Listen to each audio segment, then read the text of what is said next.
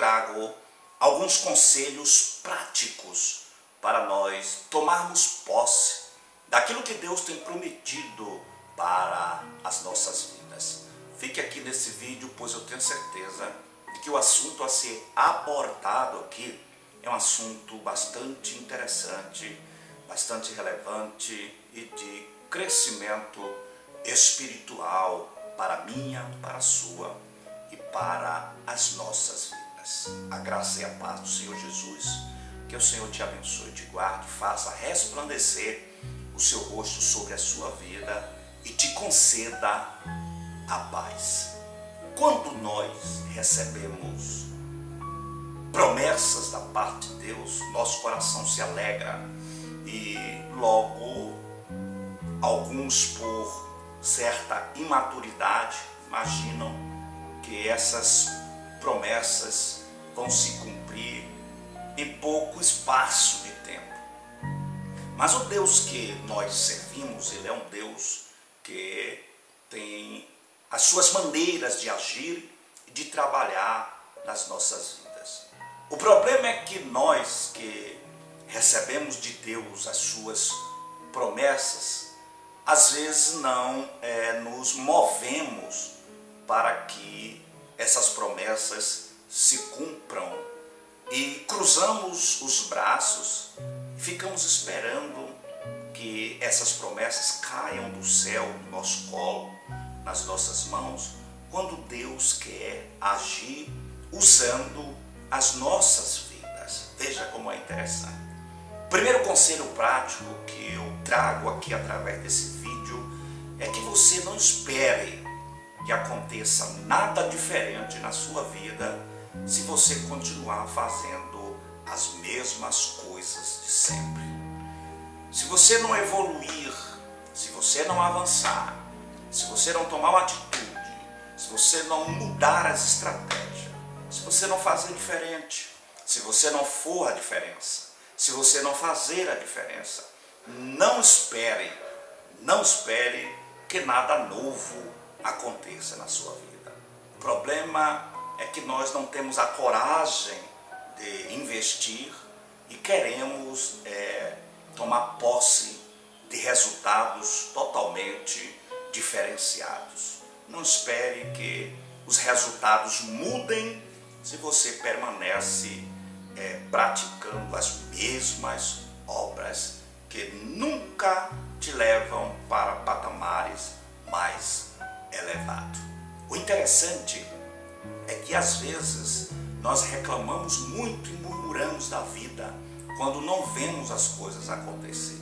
Vemos acontecer na vida de fulano, de Bertrano, de Cicano, mas na nossa vida não acontece. Aí reclamamos, murmuramos e até nos maldizemos da vida.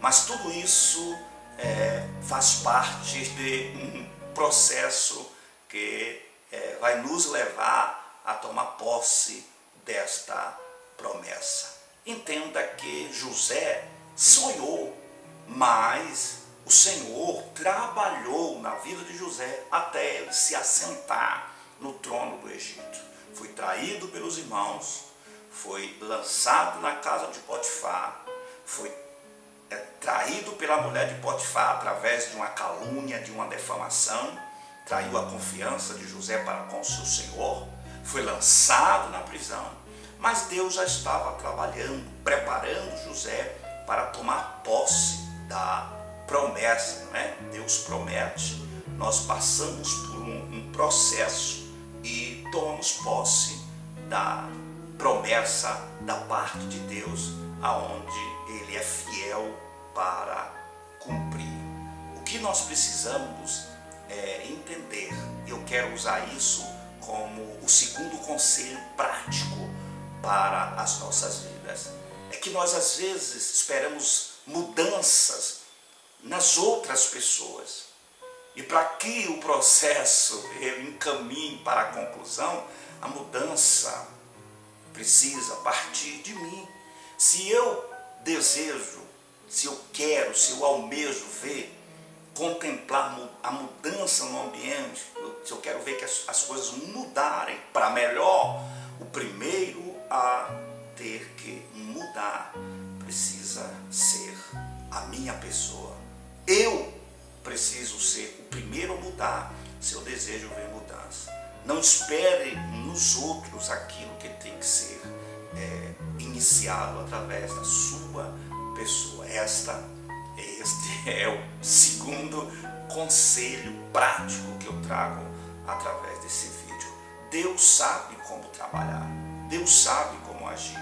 Nós é que precisamos parar de sermos questionadores e mergulharmos no centro da vontade de Deus e Ele agirá nas nossas vidas. Quando Deus chamou Abraão, disse: Sai da tua terra, sai da tua parentela.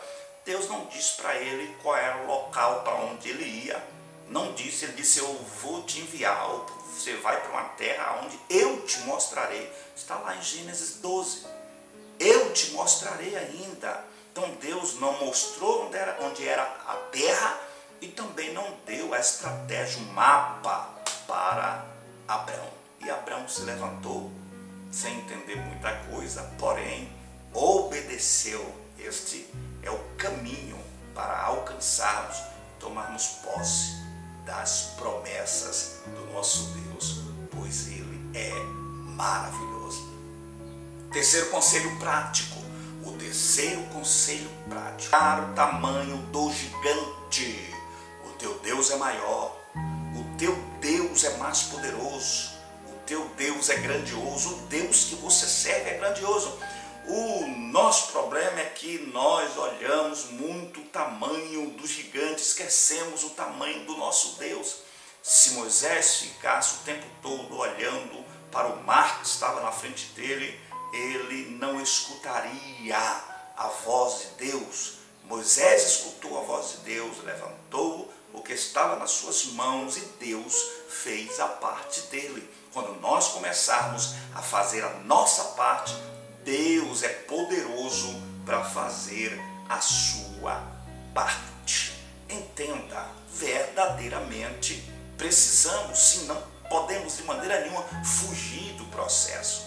Quando Deus permite o processo, é porque Ele está trabalhando a maioria das vezes não para nós, mas Deus está trabalhando em nós. E o mais importante não é quando você levanta o troféu da vitória é, e toma posse da promessa, mas o mais importante é aquilo que você se transforma, né? Deus vai te moldando, vai te, te, te lapidando, Deus vai trabalhando em você durante o processo. E o mais importante é quem você se torna durante o processo. Quando você toma posse da promessa, você observa e entende que você já não é mais a mesma pessoa que iniciou.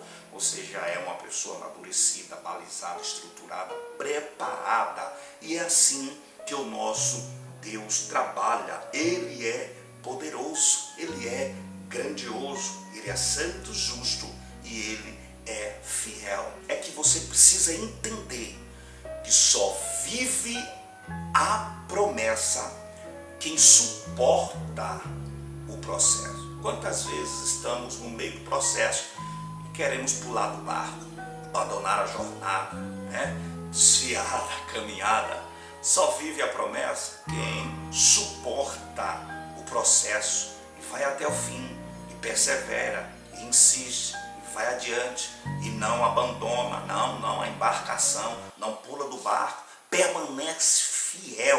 É, procure suportar. Deus não coloca peso nos nossos ombros que seja além das nossas forças. É assim. Toda promessa ela passa pelo processo. E todo processo, pega essa aí, é uma nova oportunidade para você crescer, amadurecer, para você avançar. É assim que Deus trabalha, é assim que Deus faz, é assim que o Senhor age.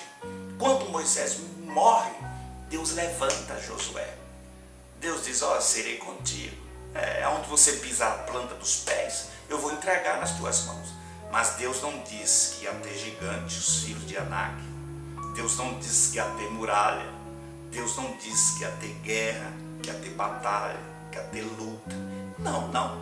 Deus não disse nada disso. O Senhor só disse: Eu sou contigo. E medita na palavra. Vai, porque onde você pisar, não tem mas eu sou contigo, do mesmo jeito que eu fui com Moisés, eu serei contigo. Está escrito isso. O problema é que na primeira dificuldade queremos retroceder, queremos parar, queremos voltar atrás. Espere. A Bíblia diz em Eclesiastes 11 para nós concluirmos o vídeo aqui, para nós encerrarmos o vídeo. A Bíblia diz em Eclesiastes 11 que aquele que observa ou olha para as nuvens, ele nunca semeará. E aquele que para para observar o vento, nunca cegará. Se você permanecer e continuar olhando as dificuldades da vida, tudo será difícil, tudo será problema, tudo será luta, tudo será barreira, tudo será gigante. Mas quando você passar a observar as dificuldades, as lutas, as tribulações, os problemas, como uma oportunidade para você se superar, para você se suplantar, para você se avaliar, para você avançar, para você crescer, você vai ver que cada passo da vida é uma nova, uma nova oportunidade que Deus abre para abençoar a sua vida. Então, em nome do Senhor Jesus Cristo, receba essa palavra, receba essa palavra. E eu encerro com uma mensagem para o teu coração. Se a ferida não for tratada, cuidada, sarada, a paz, ela é temporária. Fique com essa mensagem. Eu vou repetir. Se a ferida não for tratada, a paz é temporária. Que Deus em Cristo te abençoe.